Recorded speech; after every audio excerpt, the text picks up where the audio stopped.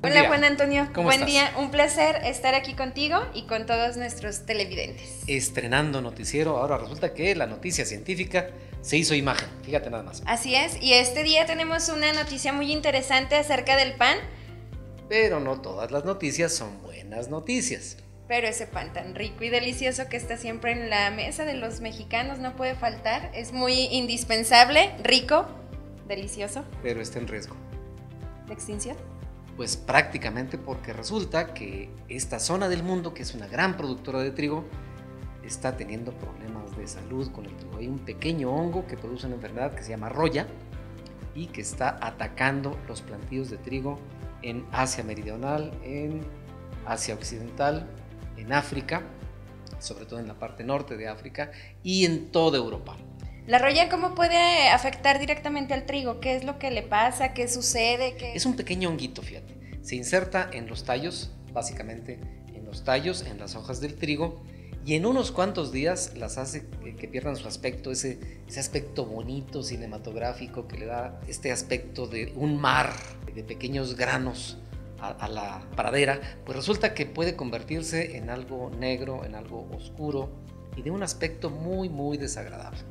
Pero sobre todo, elimina el grano del trigo, que es lo que nos produce el pan. ¿En cuánto tiempo podríamos estar pensando que afecta directamente al plantío este? Un par de semanas, es muy, muy rápido.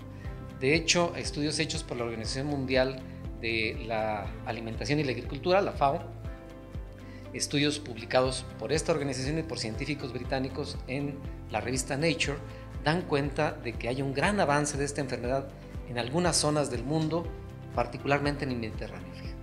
Me preocupa la situación de México. ¿Cómo estamos en este tema aquí en México? ¿Está en peligro el trigo aquí en, en nuestro país? Es un tema muy interesante porque resulta que nuestro país, en la zona sobre todo de la costa del Golfo de California, es un gran productor de trigo y trigo de exportación.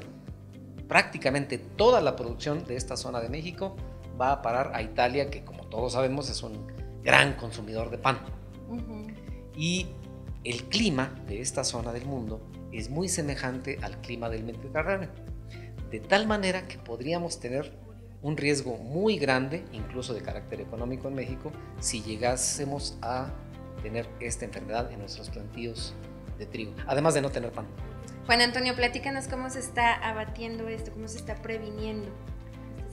Hasta el momento, al parecer, solamente a través de fungicidas, es decir, se ataca al hongo una vez que ya está inserto en la planta, pero como decíamos hace un momento, avanza muy rápido, de manera que en lo que te das cuenta que el hongo apareció y que tienes que atacarlo, pudiera ser que la planta esté ya prácticamente muerta. ¿Causa algún daño eh, si el grano dañado es producido y llevado al pan a nuestras mesas y nosotros lo consumimos? Una excelente pregunta, celebro tu curiosidad, pero resulta que no lo sabemos. Vamos a averiguar y les informamos a nuestros televidentes. ¿Qué te parece? Muy bien, me parece bien. Nos despedimos por ahora. Hasta la próxima. Muchas gracias.